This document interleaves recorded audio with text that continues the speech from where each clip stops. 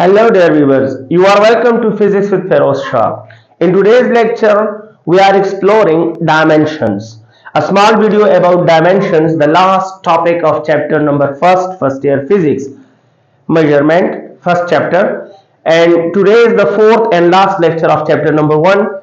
Dimensions means what? What is dimension? Dimension is the splitting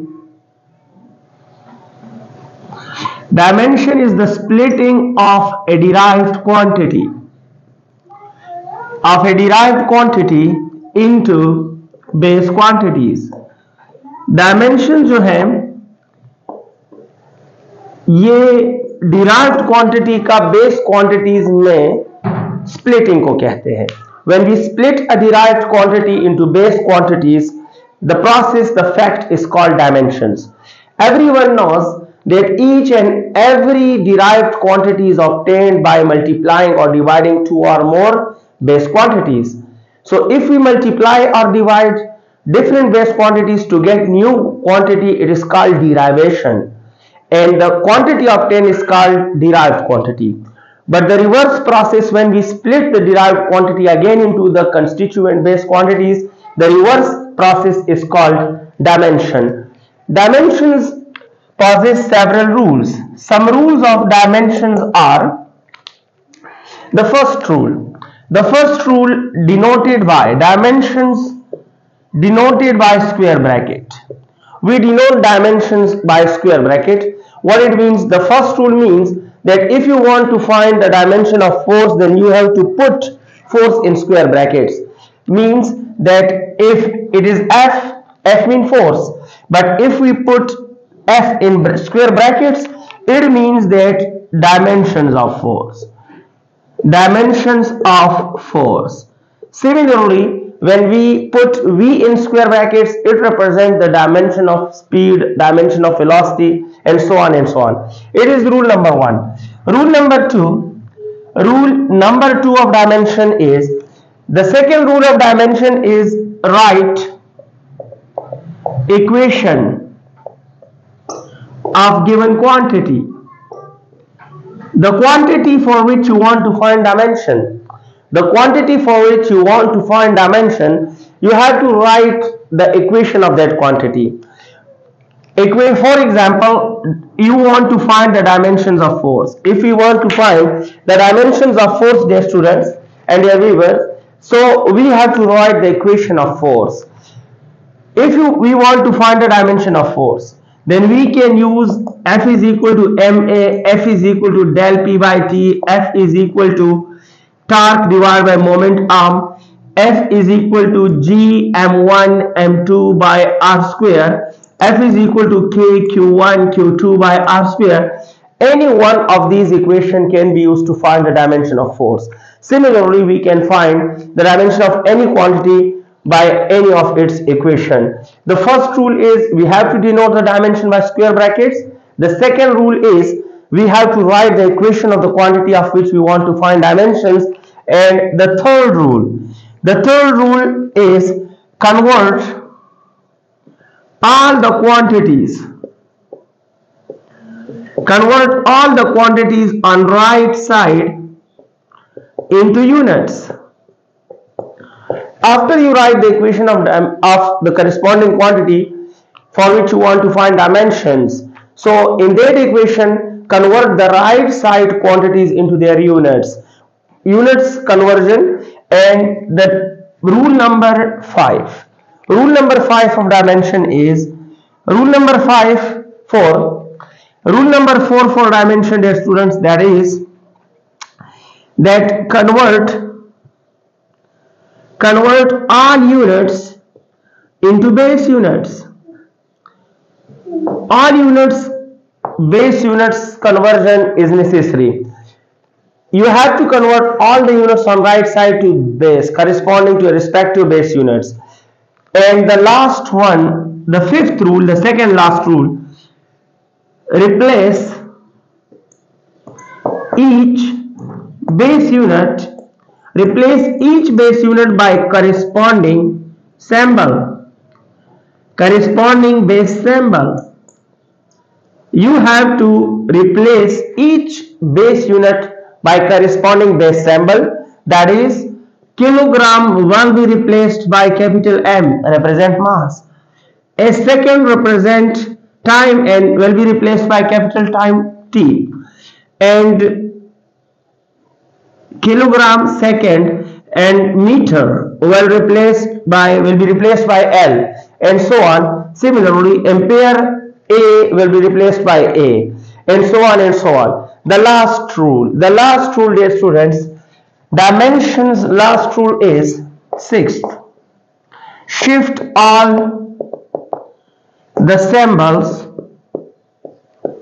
shift all the symbols into denominator shift all the symbols to denominator these are the six rules of dimensions First of all, I define dimensions that what dimension is.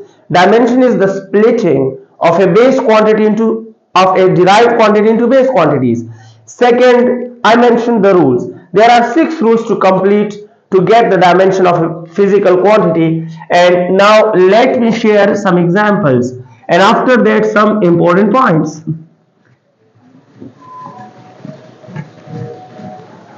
So dear students, Examples of dimensions are, let me define two examples. Let me verify two examples. First of all, I want to find the dimension of force. And here I want to find the dimension of voltage. Let me find the dimension of force and the dimension of voltage. Keep it in our mind. Force is a derived quantity and voltage is also a derived quantity. And finding their dimension means that we are converting we are splitting these two derived quantities into their into their respective base quantities. Okay let me start. The first step was square brackets. So i closed i put force in the square brackets. First step fulfilled. The second step i have to use the equation and let me use the simple equation of force f is equal to ma the third step was the third step was I have to convert the quantities on the right side into their units and mass unit is kilogram and acceleration unit is meter per second square. The third, the fourth rule, the next rule, the next rule was that I have to convert all the units into base units. But, but here I got all the units as base units. Kilogram is a base unit, meter is a base unit and second is a base unit. So no need to convert the units into base units. They are already in base form. So the next step will be force dimension. Force dimension is equal to kilogram will be replaced by capital M mass respective symbols. Meter will be replaced by L and second will be replaced by T and it is T square. The last step of dimension was we have to shift all the samples to nominator. So we have to shift T square to nominator and hence the dimension of force will become MLT minus 2. MLT minus 2 is the required dimensions. So look at the equation, look at the dimensions obtained. Why it is the dimension of force? It is actually force is derived. Do you know? Force is a derived quantity. But mass is a base, length is a base, time is a base. And hence it is clear that finding dimension means the splitting of a derived quantity into base quantities. The splitting of a derived quantity into base quantities. Now let me find the dimensions of voltage. So there we was. First step was that I have to put voltage symbol in square brackets and I did that. Let me find the dimensions of voltage. The second step is I have to use an equation of voltage. Voltage has many equations but I have to use a simple one and that is voltage is work per unit charge. Work per unit charge. Next step was I have to convert the quantities on right side into units and the dimensions of voltage will become like this.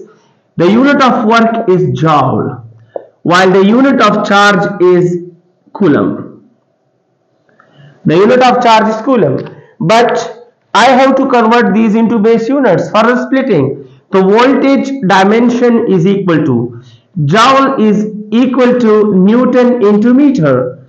And coulomb is equal to ampere into second. Everyone knows.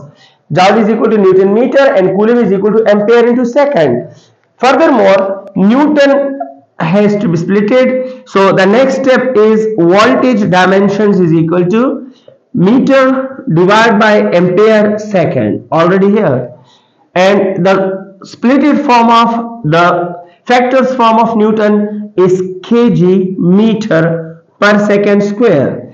Now just simplify and you will get the dimension of voltage.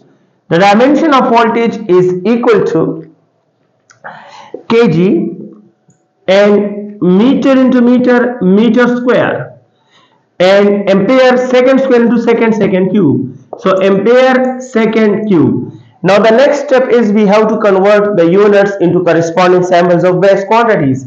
So voltage dimension is equal to kg will be replaced by capital m. Meter will be replaced by capital l. Ampere stands for ampere. And second will be replaced by t and q the last step is convert all the samples into nominator.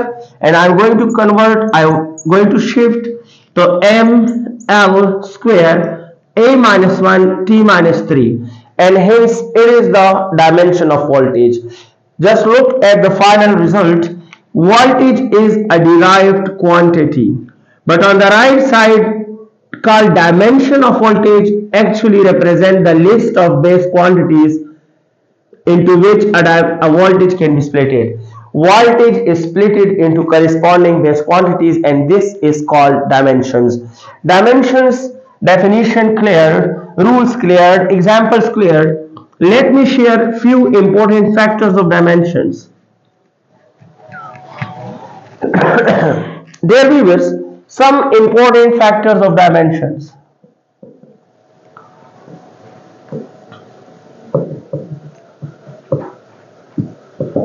We have some important factors of dimensions and let me share. The first one the first important factor that the dimension of the dimensions of a correct equation the dimensions of a correct equation must be same on right side as well as left side of the equation. This fact is called principle of homogeneity. It is called principle of homogeneity and it means that if, if an equation is correct then the dimensions on the left side must be similar and same as that of the dimension on the right side. For each and every correct formula the dimensions on left side must be equal to right side. For example, for example, we know that S is equal to VT. It is a correct equation. Everyone knows. So find the dimension on both sides. You will find the dimension on left and right side are same. Displacement unit is meter and velocity unit is meter per second time unit is second. Second second cancelled.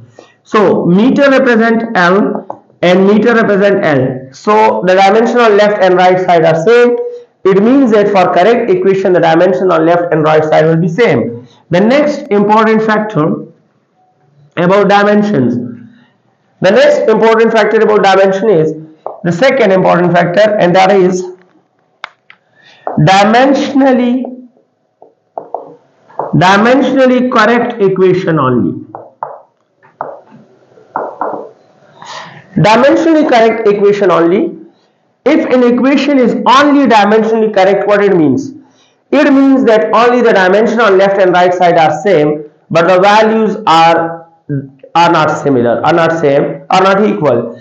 If an equation possesses for example if I say that 1 kilometer is equal to 1000 meter so it is not only dimensionally correct it is correct. It is correct equation it is a correct equation because 1 kilo represents 1000 and right side also possesses 1000.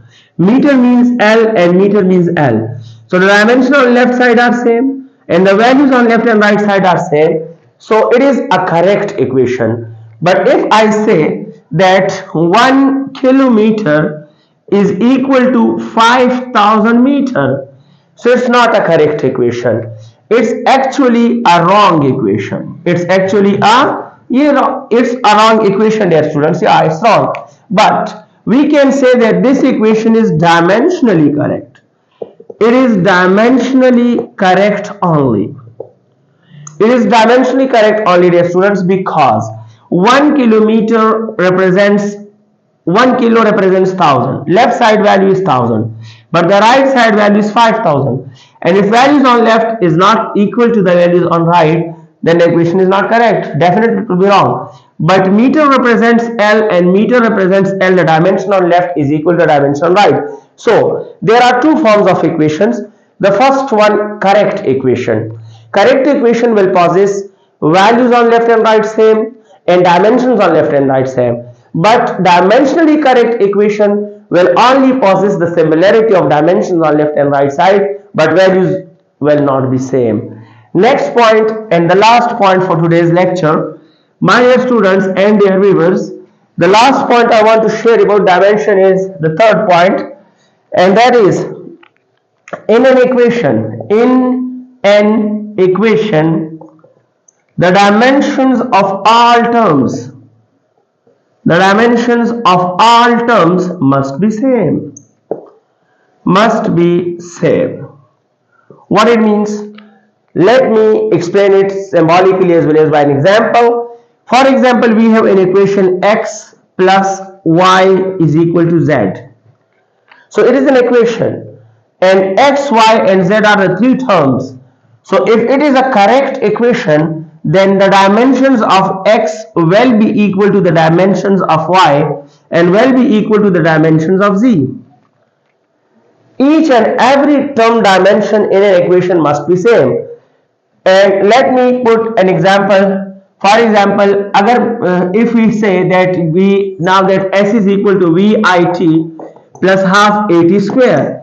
So it is a well defined equation of motion uniformly accelerated motion first term second term and third term find the dimension of each term please so displacement dimension is l meter the unit of displacement is meter and meter represents L.